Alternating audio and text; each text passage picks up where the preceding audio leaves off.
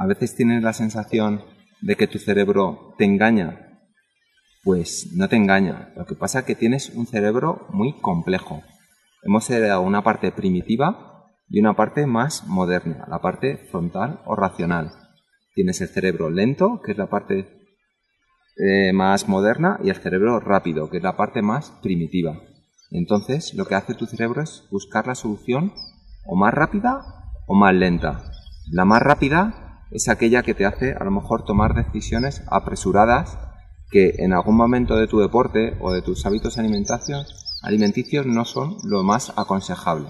Y tu cerebro lento, aquel que tardas como tres segundos en que toma el control, pues da una solución más planificada, con más análisis, más racional y seguramente sea una decisión más correcta.